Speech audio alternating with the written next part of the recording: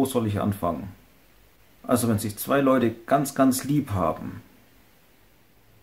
und am Ende baut dann der Papi eine Weglauflage für die Kommode.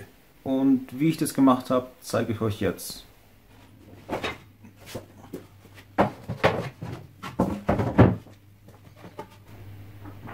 Es gibt auch wieder Pläne und wie immer in der Beschreibung unten nachgucken.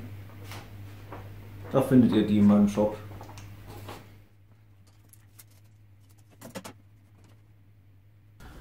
Für dieses Projekt habe ich mir zwei Leimholzplatten besorgt, 40 x 200, die ich jetzt hier zuerst grob zuschneide.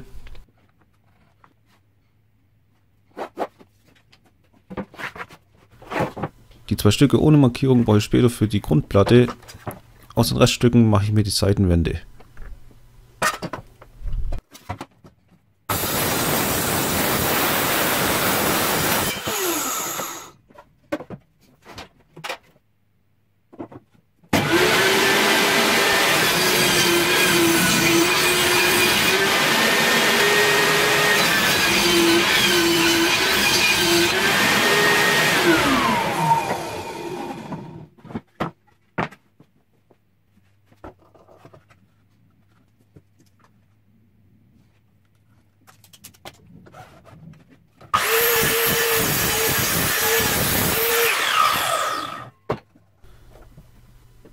Während dem Bau habe ich immer wieder die Pläne ein bisschen abgeändert und vereinfacht.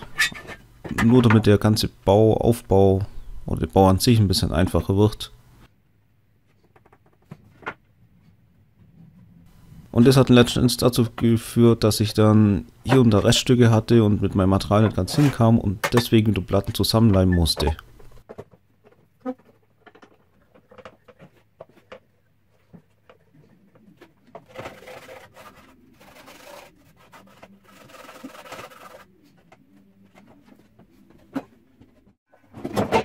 Und die Grundplatte musste ich mir eh zusammenleimen, da man die schlecht in der Größe kaufen kann. Als Leimplatte.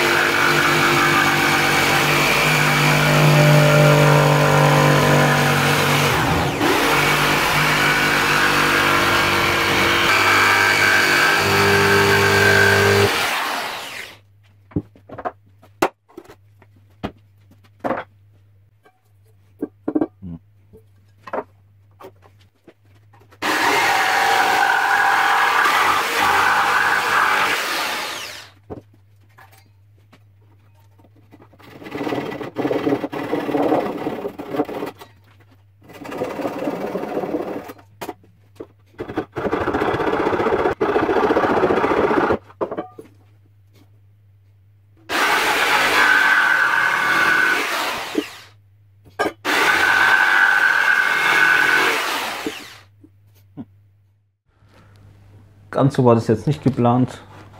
Bin ein bisschen zu weit nach vorne gekommen einfach.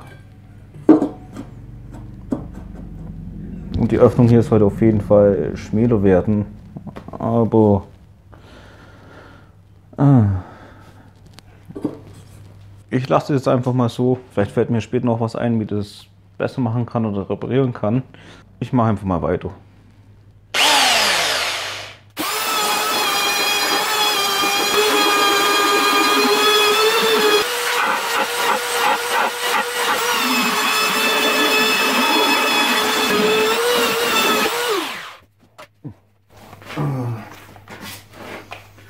So.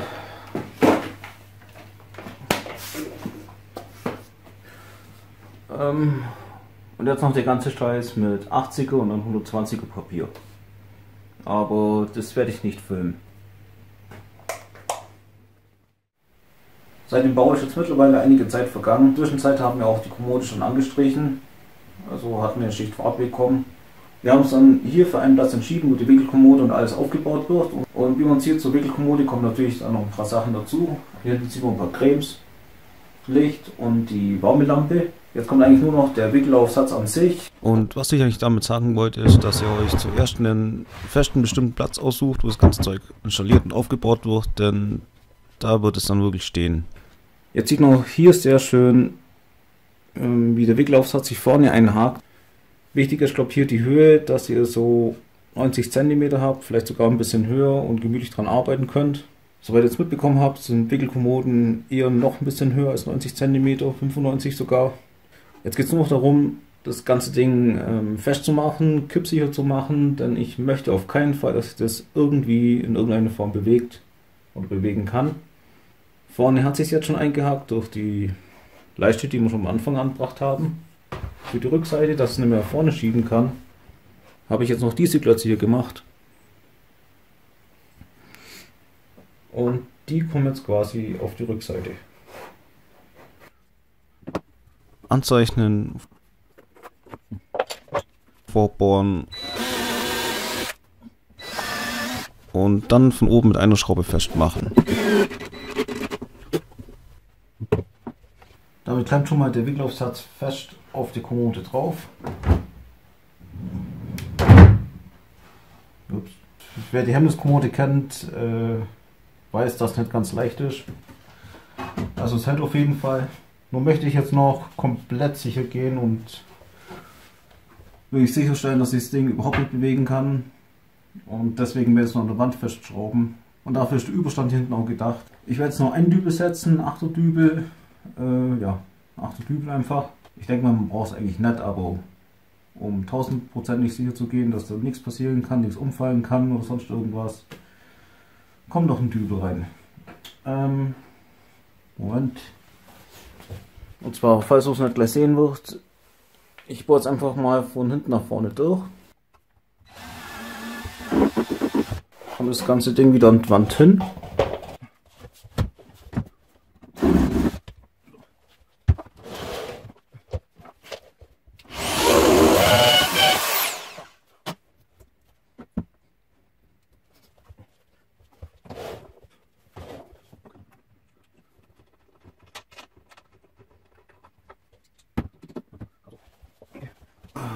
Ähm, jetzt wird kompliziert.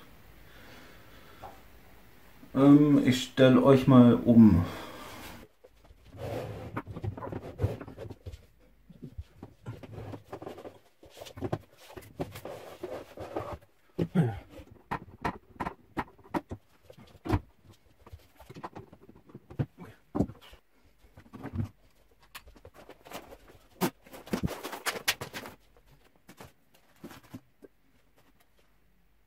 Damit ist der Wickelaufsatz sicher installiert.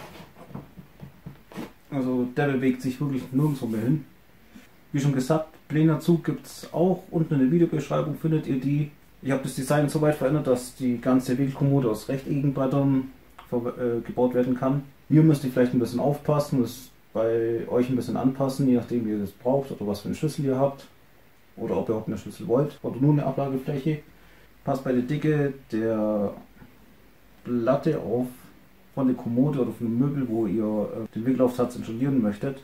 Macht die Nut so breit, dass der Deckel von dem Möbel von euch auch sicher reinpasst. Ich hatte den Fehler gemacht, dass ich bei mir, ich habe zwar zehnmal nachgemessen, aber dann Nut immer noch ein paar Millimeter zu schmal gemacht, weil die Hemmniskommode hat glaube ich 24 mm oben drauf, also die Platte oben hat 24 mm von der Hemmniskommode und ich bin bei der Nut von 21 mm ausgegangen. Hat dann Probleme gegeben, passt euch da ein bisschen auf. Das war's und soweit. Ich bedanke mich hier immer fürs Zusehen und ansonsten das übliche Teilen, liken, kommentieren, ähm, abonniert den Kanal, falls ihr noch kein Abonnent seid und bis zum nächsten Mal dann.